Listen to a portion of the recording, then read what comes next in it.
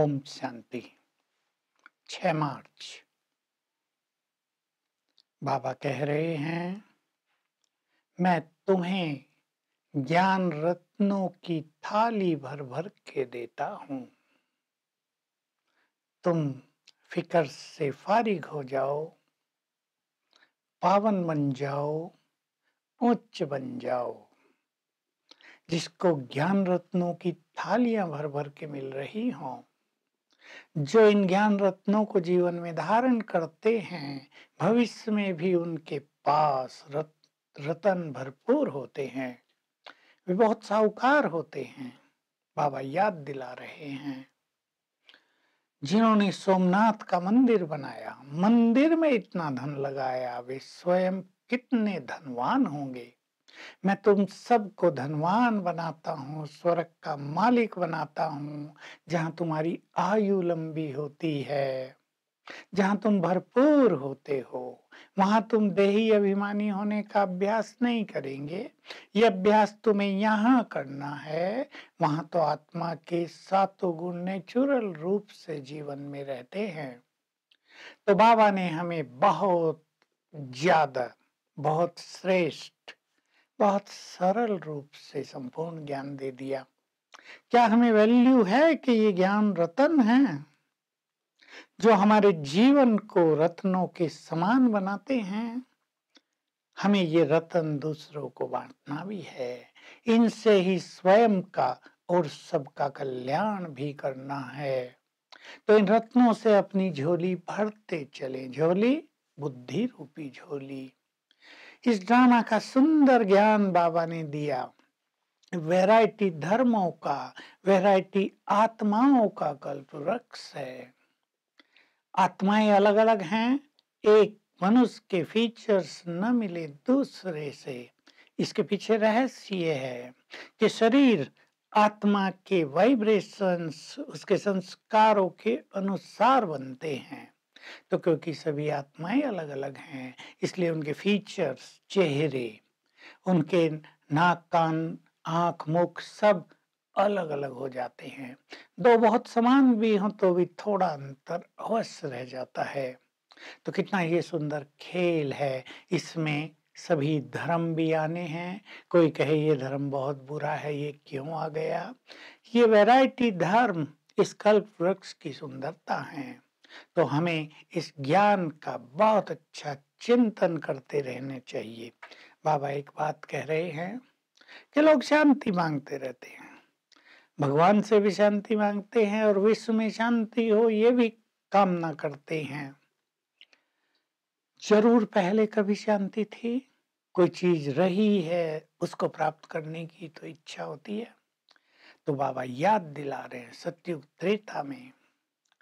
इस सृष्टि में संपूर्ण शांति थी। अब तुम स्वधर्म में स्थित हो जाओ तो चित्त शांत हो जाएगा, चारों ओर शांति फैल जाएगी।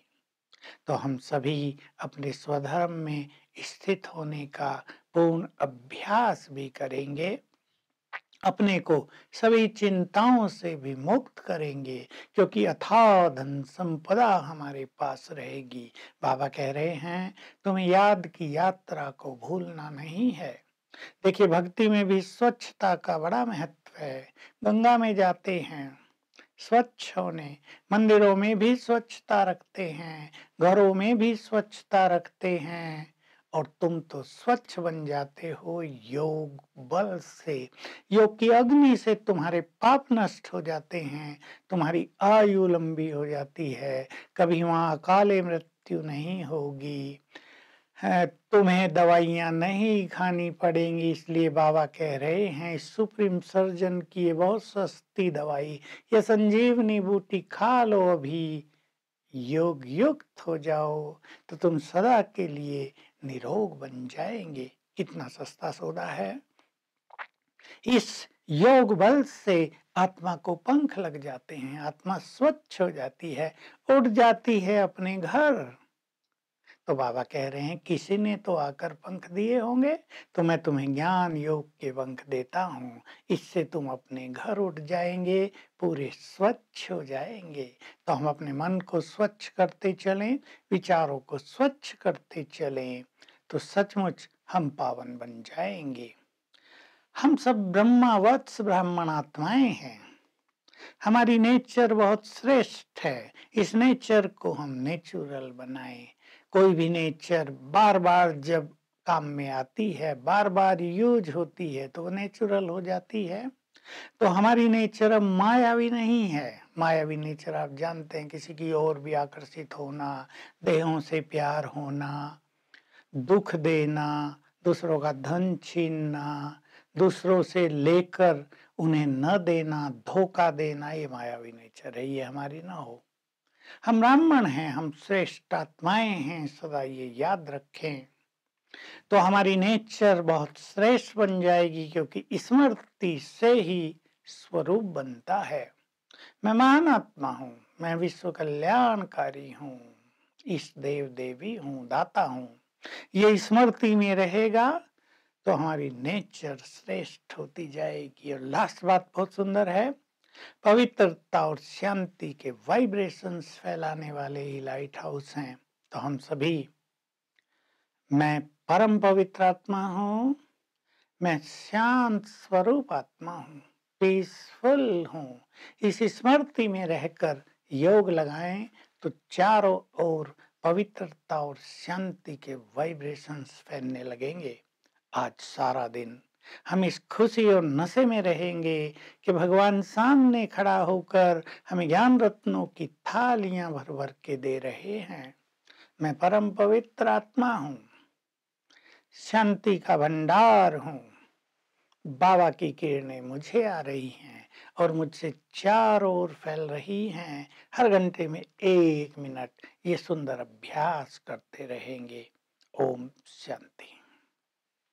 To watch Peace of Mind channel videos on YouTube, subscribe us on youtube.com slash tvpeaceofmind.